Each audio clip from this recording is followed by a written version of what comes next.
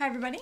Hello, I'm Ryan. I'm Bethany. And we are Ryan and Bethany Board Game Reviews. And today we're going to be talking to you about trekking the national parks. But before we do, let's get into our pounds and inches segment. This is the part of the review where we tell you what we're trying to do to achieve better health in our life.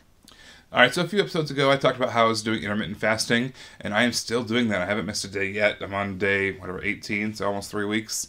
Uh, but I'm getting a little frustrated. I haven't seen a whole lot of results yet, and that's partially because I'm not doing great with what I'm doing in that small window of time. So my goal now is to kind of up my activity level and limit some foods that I've been overindulging in.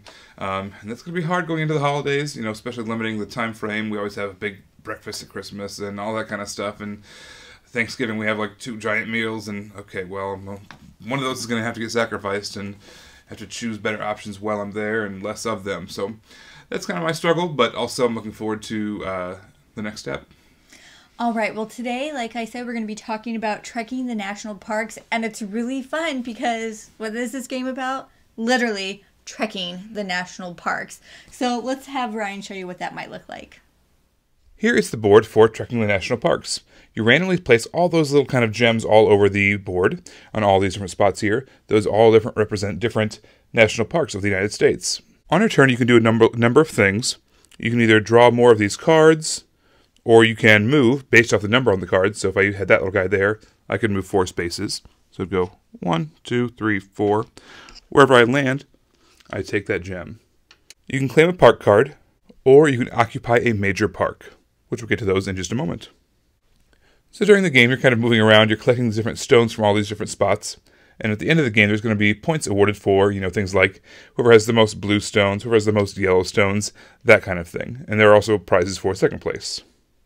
When you draw cards, you can either draw a mystery card face down from the pile, or select one of the ones that's face up in a lineup.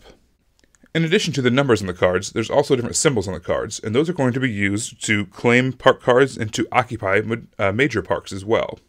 So let's take a look at what those look like. Alright, to claim one of the park cards, you need to go to the named national parks, in this case like Olympic National Park or Theodore Roosevelt National Park, and you need to discard the symbols on the cards. So you need two separate canoes, two separate fires, in order to go to the Theodore Roosevelt Park, cash that in to get those 10 points. They're 10, 7, or 5 points based off kind of how easy they are. But there are also six major national parks. You only deal out three at the beginning of the game, and they're there the whole game. When you go there and you cash in those things, so you, you know discovered two canoes to go to the Everglades, instead of taking that card, instead you put one of your little tents there. You sometimes you get an immediate benefit or a stat, you know a static ability that's going to be there for the rest of the game. In this case, it says you get to trade a stone with someone else in the game. It's going to help with those majorities later on at the end of the game during scoring. This one says you get to add one extra movement. So when you discard a three card, you get to go four spaces instead of just the normal three. You can combine cards for movement, so you can discard a one and a two together in order to move three spaces.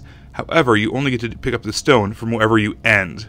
If you wanted to spend two separate actions, one for the one and another for this, the two movement, you could pick up both gems of wherever you ended. You do get two actions per turn, so it could be move and pick up a stone, and then draw a card, or it could be draw a card and then occupy a major park, or it could be move, move, it could be draw a card, draw a card, any combination of those things. So that's kind of what you're doing in the game. You're drawing cards, and you're using those cards to either move around, discarding them for the numbered value, or you're discarding them as the symbols in order to claim these parks and to occupy those major parks.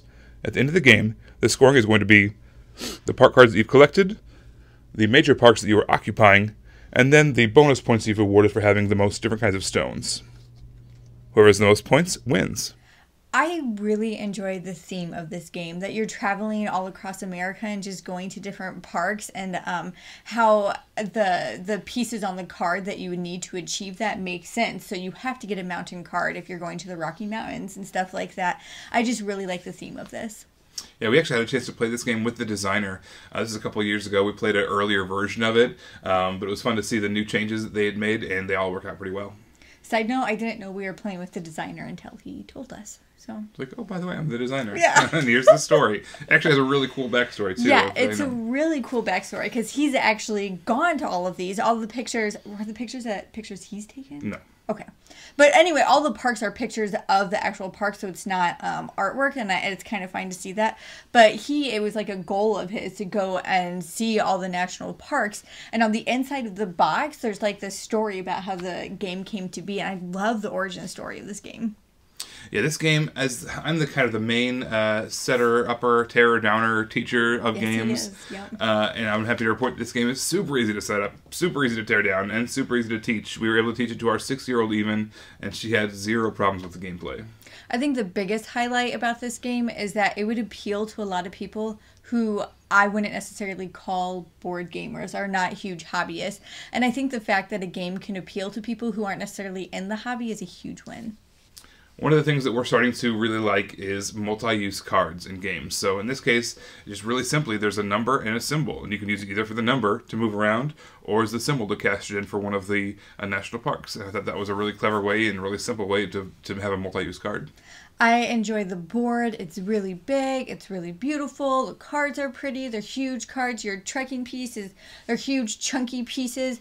Um, and then the gems that are on the back are all across the board. It's, it's really, really pretty. Um, but it might have been just a little overproduced. Uh, you could use any type of cube for those gems, and then the bag that they're they're held in could have um, it's like this like leatherish type of bag. I, it, it was it was really nice and it's really pretty to look at. I just wondered if it was overproduced. It's almost like a deluxe version, but just the regular version. Yes, yes, that's exactly what it was. One hundred percent. I, like it when people do both options. That way, you can have a more affordable choice. Plus, the more if you want to, Yeah. you want to upgrade your stuff, you can have the deluxe version. But you didn't really get the choice with this one. Yeah. But it is really great. All the components are great, so I recommend that part of it. Um, another thing is, um, we were, you know, we taught our daughter Ticket to Ride, and a lot of people have compared this game to Ticket to Ride. Um, there's, I'm not sure I agree 100%, but there are some similarities to be drawn there.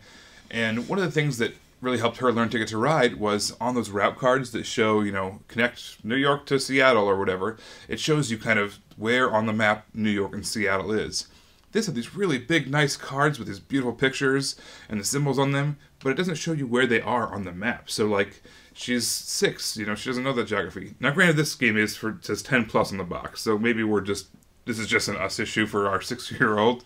But um, when it says Florida, she doesn't know where Florida is on a map. It says you know American Samoa National Park. She doesn't know where American Samoa National Park. I wasn't sure I knew, and you know, Well, the card lets you know what state it's in, but that doesn't mean anything to a six-year-old. So it's probably just an us problem, but it would have been cool to have just a little somewhere on this really really Yeah. large card, something that's The- pictographically showing this is where this is on the The good thing about that um, is that the card is open information. So as they're laid out, because anybody can achieve that goal. So it's not like it's going to affect strategy for anybody playing when we show her as a card comes out where those are. And it's a good excuse to learn geography. This does have a kind of an educational um, opportunity there as well. So this is here's the Everglades, here's all the different national parks, and here's where the different states are. And so there is some teaching moments there as well. And it's, it's I wouldn't call it an educational game necessarily, but it's got a lot of those educational moments. And plus, just the theme of national parks kind of has that educational vibe to it. So very cool. So overall, I really enjoy when a game can appeal to people who aren't necessarily hobbyists, but hobbyists would enjoy, and this definitely hits that. Yeah, super fast, super fun. Uh, it does. It's you know it's beautiful to look at, uh, and we had a really great time with it. All right, well, that is our thoughts on trekking the national parks. If you want to see our reviews as they come out, subscribe to our YouTube channel, Ryan and Bethany Board Game Reviews. If you like what you're watching, go ahead and click that like button. You can also follow us on Instagram under Ryan and Bethany Board Game Reviews. You can also see the games we're playing as we're playing them by following us on Instagram. That's going to be under Ryan and Bethany. You can also talk to us on Twitter. That's under Ryan and Bethany 1. And then if you want to see a behind the scenes of what we're doing in our lives to achieve better health, Follow us, follow our blog, and that's on Board Game Geek under pounds and inches.